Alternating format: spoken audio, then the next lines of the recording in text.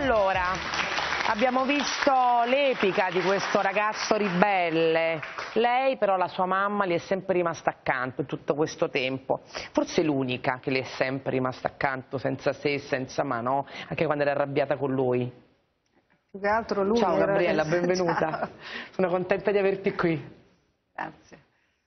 Forse lui è stato più arrabbiato con me, come ti ho sempre detto. Mm. Magari si aspettava che lo facessi uscire dal carcere dopo due giorni, invece passati due anni e mezzo. ecco. Ecco, però questa è una cosa molto interessante perché una delle cose da cui siamo partiti nella nostra conversazione per il, per il libro, no Gabriella?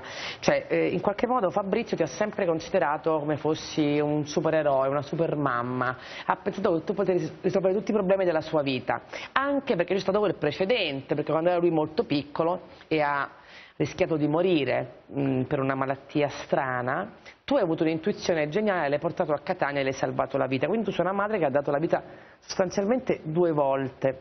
È stato questo l'imprinting che poi Fabrizio ha sempre preteso così tanto da te nella sua vita, secondo te? Sì, te l'ho già detto, sono convinta che questa sua ehm, interpretazione della, della maternità sia dovuta a questo rapporto che abbiamo avuto così intenso, dato che io eh, appunto gli ho salvato la vita e l'ho tenuto sempre come in una campana di vetro. E lui mi ha dato delle valenze di onnipotenza, cosa che poi nessuna mamma, sicuramente l'amore di una mamma è sempre enorme e, e travalica anche delle barriere che non si possono neanche superare, ma in questo caso ho avuto il coraggio di, di stare vicino, di, essere, eh, di mettermi in pasto anche ai media e tutto pur di poter sposare una causa, non perché l'ho mai difeso come tu sai. Io non ho mai difeso mio figlio perché lui mi ha fatti tanti di errori, si è comportato male, però sicuramente la pena che gli hanno dato è stata una cosa esagerata. Però questa è una delle lamentele io- che fa Fabrizio, no? Cioè Fabrizio voleva che tu lo difendessi senza se e senza ma, invece Sì. tu hai deciso da madre di distinguere fra i suoi errori e quella che tu consideravi un'ingiustizia. Sì, eh non da madre ma da, mm, anche da cittadina, da persona morale, tra virgolette.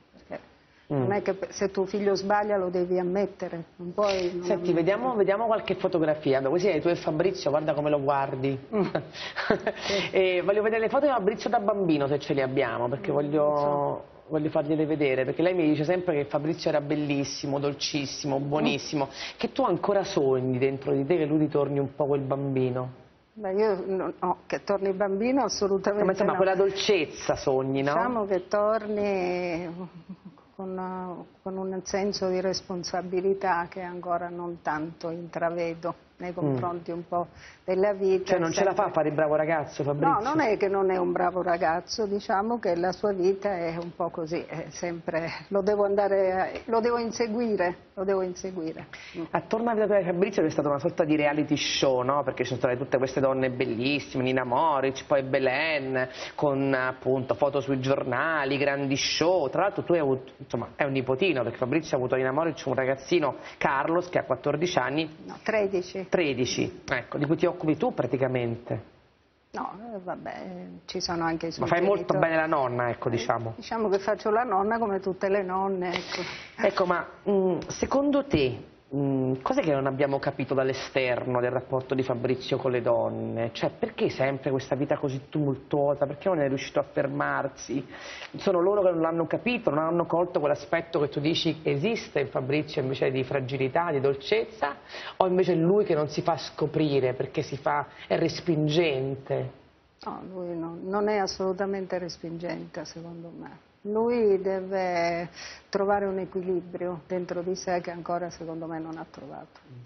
Un equilibrio psicologico, non parlo de- diciamo, delle trasgressioni, proprio una- un suo modo di stare bene con se stesso. Quando riuscirà a trovare questo equilibrio, sicuramente troverà la donna della sua vita. Senti, Fabrizio è stato in carcere la bellezza di 22 mesi, nel carcere di Opera, Sì. tra l'altro che è un carcere difficilissimo, ci sono Molto. quelli imputati di 41 bis, condannati a 41 bis, quindi è un carcere, tu mi hai raccontato anche quando entravi in questo carcere l'impressione che faceva una persona come te, che mai se lo sarebbe aspettato, no? dover entrare in quel mondo, in quell'ambiente.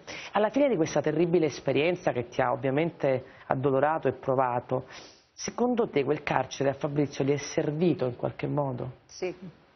Gli ha fatto da padre in questa fase della sua vita? Diciamo che l'ha fermato, l'ha bloccato in un momento in cui sarebbe mh, precipitato nella, nel baratro più totale. Io penso che poteva anche morire con la vita che faceva. Invece il carcere l'ha fermato. E questo è... Però il carcere, quello che ha fatto, lo continuo a dire, è stato sufficiente perché insomma gli anni che gli hanno dato sono una follia.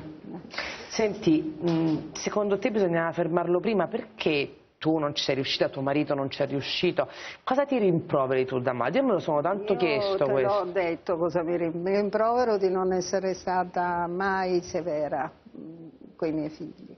E anche mio marito era come me, mm. estremamente accondiscendenti. Non hai fatto come Toia Gram, la mamma da cui no, siamo partiti. Vediamo, no. insomma, possiamo vedere un attimo questa clip di Toia, così la commentiamo con Gabriella?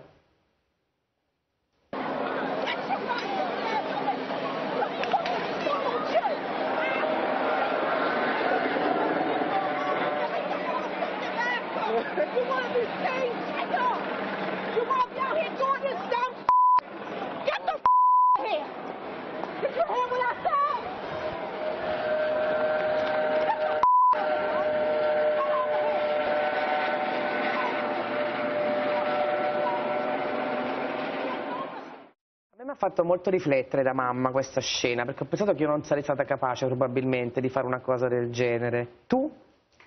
Neanche.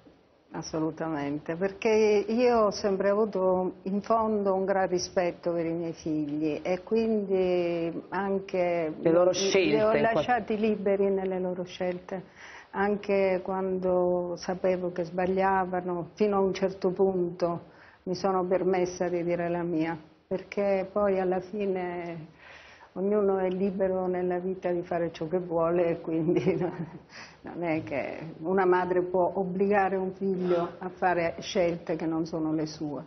Io credo che questo mio comportamento sia nato anche da questo bisogno di rispettarli molto i miei figli.